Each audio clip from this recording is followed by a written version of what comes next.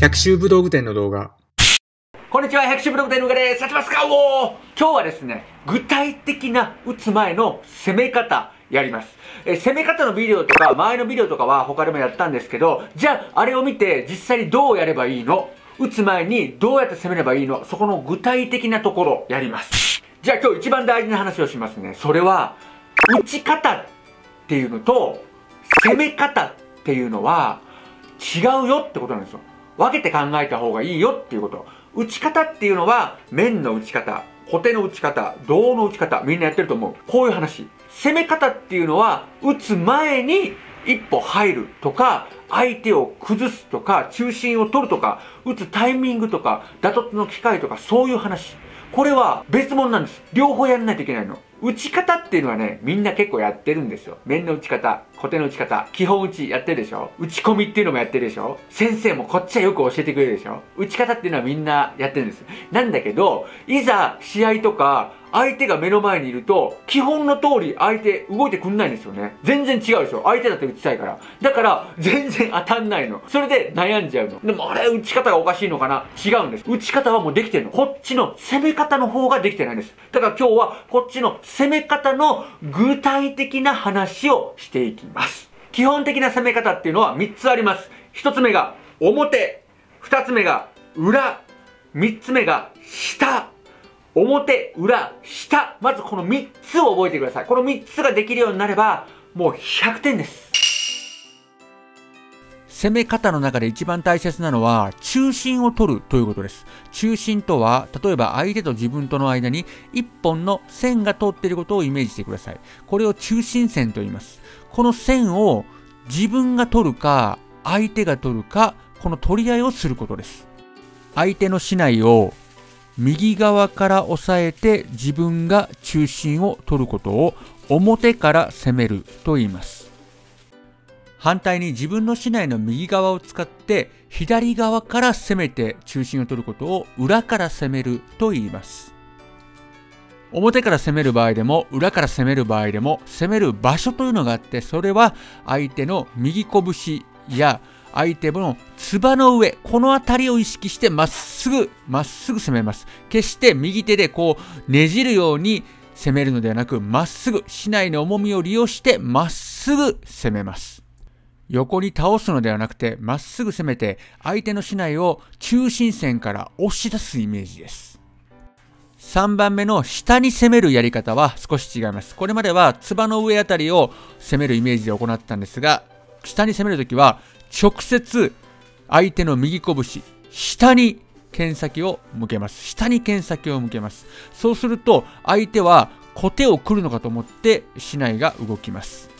表、裏、下、表、裏、下、表からと裏からの攻めっていうのは結構みんなやってるんですけどもそれに下に攻めるというのが加わるとかなり攻めの幅が広がります。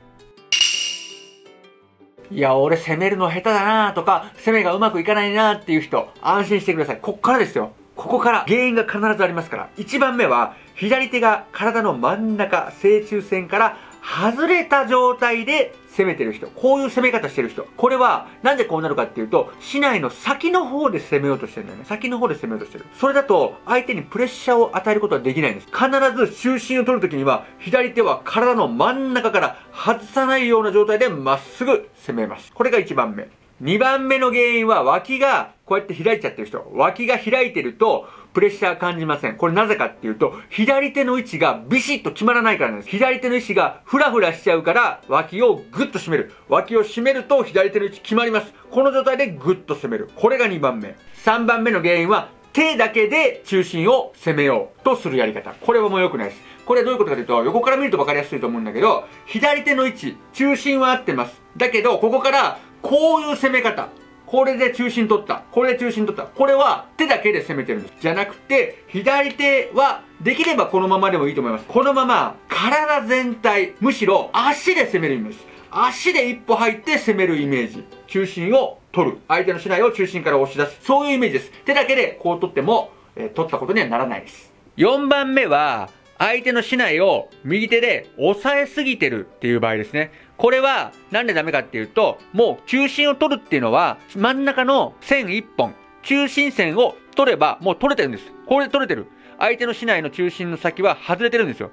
だけど、これをここまで右手で押さえるような中心の取り方をしていると、相手にバレるんですよね。相手にバレやすい。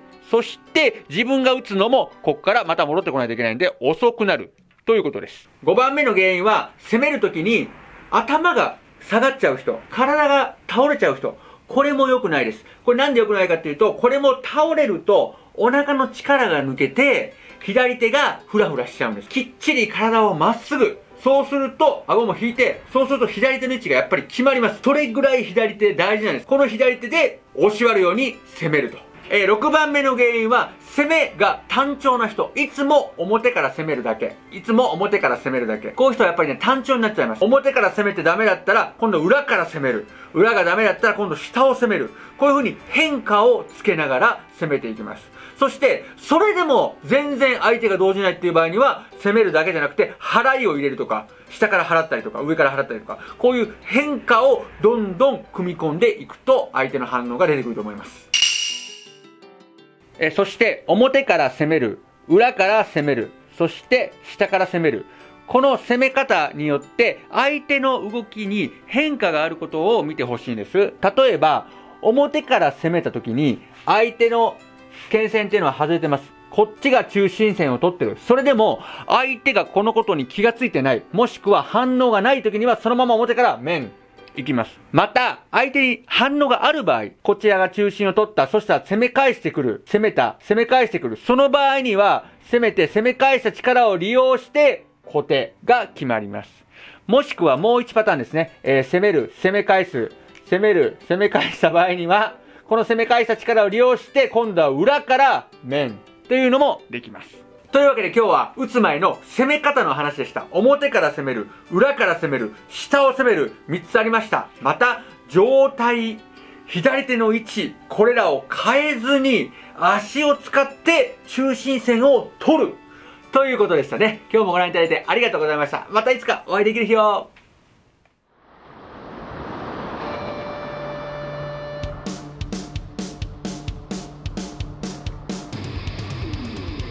まだ当店の無料カタログを見たことがない人防具を買う買わないなんて小さいことは関係ないです。ぜひご請求ください。新聞紙サイズのポスターみたいで見てるだけでも楽しいですよ。説明欄にリンク貼っておきます。